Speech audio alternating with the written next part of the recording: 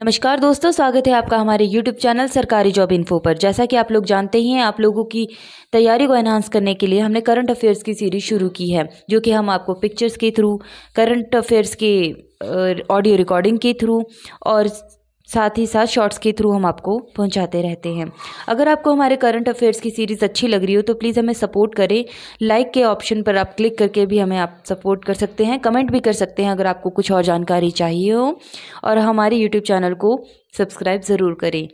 तो चलते हैं आज के अपडेट्स पर, जिसमें सबसे पहले न्यूज़ है नेशनल न्यूज़ कि पेट्रोल में बढ़े हुए इथेनॉल मिश्रण के माध्यम से स्थिरता को बढ़ावा देने और उत्सर्जन को कम करने के लिए केंद्रीय मंत्री हरदीप सिंह द्वारा इथेनॉल में 100 ईंधन पहल की शुरुआत कर दी गई है।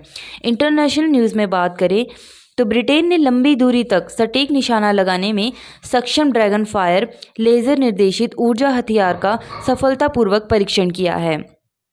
स्टेट न्यूज़ में तीन बेस्ट न्यूज़ आई हैं, जिसमें सबसे पहली है, महाराष्ट्र ने अपना नाम ही बदल दिया एक ज़िले का। मराठा रानी अहिल्याबाई होलकर के सम्मान में अहमदनगर ज़िले का नाम बदलकर अहिल्यानगर कर दिया गया है। राजस्थान में मुफ़्त बाजरा बीज भी मिला है। सरकार उत्पादन को बढ़ावा देने के लिए किसानों को मुफ़्त बाजरा बीज वितरित किया गया। शाक के शरीर के अंगों में अवैध व्यापार हावी होता है तो जो समुद्री जैव विविधता के लिए खतरा भी बन सकता है। तो इसके लिए भी तमिलनाडु ने अवैध शाख व्यापार बंद कर दिया है। इंपॉर्टेंट डेट्स की बात करें तो नेशनल वैक्सीनेशन डे 16 मार्च को मनाया गया था, जो कि वैक्सीनेशन के लिए एक बहुत इंपॉर्टेंट डे माना जाता है। डिफेंस न्यूज़ की बात करें तो नौसेना भवन का उद्घाटन रक्षा मंत्री राजनाथ सिंह ने दिल्ली में भारतीय नौसेना के लिए उद्घाटन किया। बिज़नेस न्यूज़ में बात करें तो एफ़ का ई ट्राइड कैंपस नियरली सौ जेलों को प्रमाणित किया गया, जहाँ पर स्वस्थ भोजन प्रथाओं को बढ़ावा देने की पहल की गई।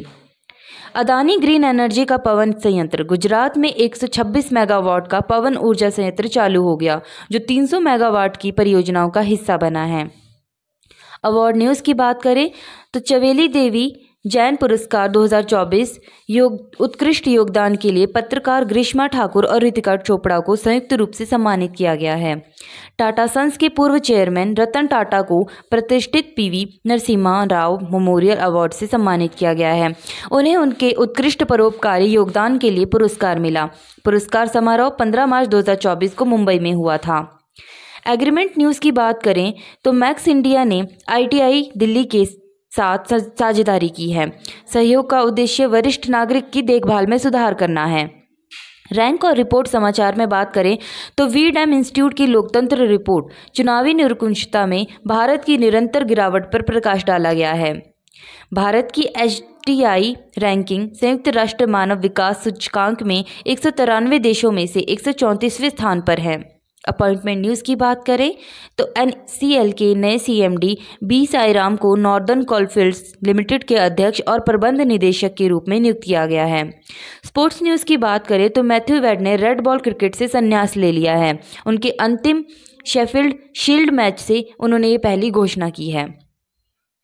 ऑबिट्री न्यूज़ में बात करें तो सादी मोहम्मद का निधन संस्कृत संगीत में विरासत छोड़ने जाने माने रविंद्र संयुक्त संगीत गायक का सत्तर साल की उम्र में ही निधन हो गया है।